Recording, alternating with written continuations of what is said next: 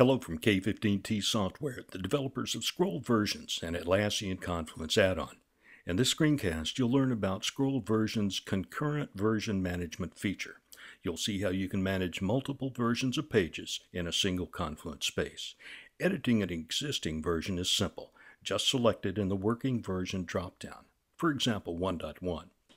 All subsequent changes are now scheduled for version 1.1. Please note that the changes I make for 1.1 are hidden from wiki users. Only authors and administrators can see them. Now let's make some changes.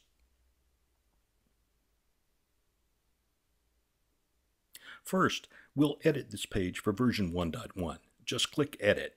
Shortcuts also work. I delete the current content and enter the content required for version 1.1.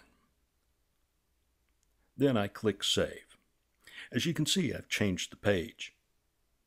When I switch to the currently published version, which is visible to all wiki users, the page still displays the old content. But let's change back to version 1.1. Now let's create a new page that describes a new feature for 1.1. Now enter a page title and some content, and then click Save you can see the changes for the 1.1 page. I'll switch back to the currently published version. In the navigation tree, the page title is grayed out and there's no content. This means that the page is not available in the currently published version and therefore not visible to wiki users. But when I select version 1.1, the page is available in the tree and the 1.1 content is displayed. Let's add a few more pages. And when I'm finished with all the changes, I publish a version 1.1 and make it visible to wiki users. I click Browse Scroll Versions, then open Version Management to display the existing versions in this space.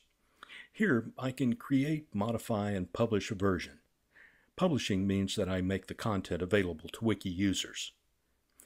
Now, publishing can be done in two ways. I can publish the version to the same space, this means the changes for 1.1 are copied to the pages that are visible to all users. Or I can publish the version to another space, a new space.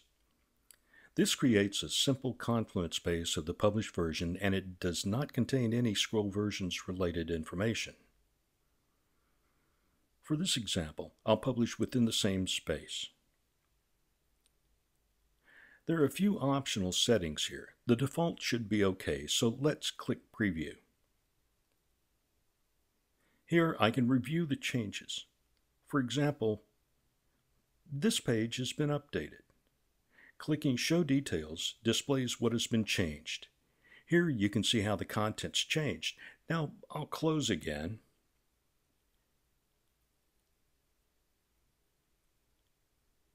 and the list displays other pages that have been added or removed.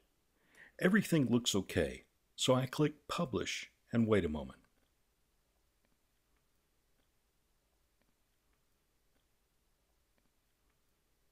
When I open the space again, you can see that version 1.1 and the currently published version display the same content. If I log out and log back in as a normal wiki user, I can see the changes I've just published. Also notice that there is no sign of scroll versions because it's so well integrated that the space looks just like any other Confluence space. So that's it. I hope this explained how scroll versions helps you manage concurrent versions in the same Confluence space. If you have questions about scroll versions, please check the K15T software forums or feel free to contact us at any time. Thanks a lot.